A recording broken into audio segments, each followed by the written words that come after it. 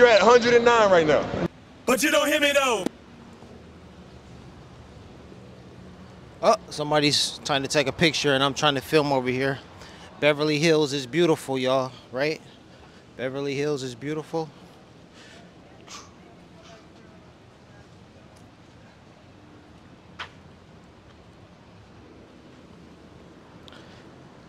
Cool. I've got a moment to to just kick it right here. So, Beverly Hills.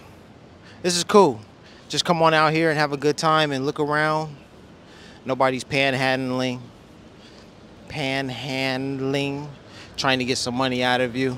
Unless you want to include the uh, the store owners and all that kind of stuff, the people who are working. We got some people want to take a picture here, so gotta let them do it. That's what they do here. Tourists come to Los Angeles, to Beverly Hills to take pictures and and do all that fun stuff. So this is what it is. Beverly Hills is beautiful. It's expensive too, y'all.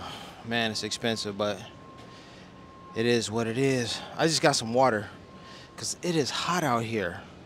And I'm walking around like it doesn't even matter, you know? But it's all good. So, it's hot. It's hot for sure. A day in LA.com, the little tour buses and stuff like that. It's hot, y'all. Yeah, so I got some water.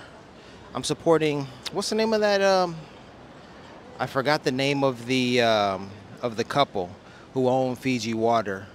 They are. Who are they? Yeah, I forgot the name of them, but they own Fiji Water, so I had to give them a donation by purchasing a small bottle. I have it in my little backpack here, doing my thing some history, some history about uh, Beverly Hills. You know, Beverly Hills was um, the whole area was owned by a, a, a Mexican woman, a Latina, in um, where was it?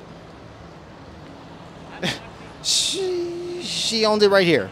All of this area was owned by a Mexican woman before it was taken over by whomever else, anybody else. So that's what it is. And now today, this is where everyone comes when they travel. They travel the world and then they come to, or rather, they they may not travel the world. They just come from their country, come to Los Angeles, and it's like Beverly Hills is that place to visit. So that's what they're You're doing. at 109 Checking right it out. But you don't hear Me me though.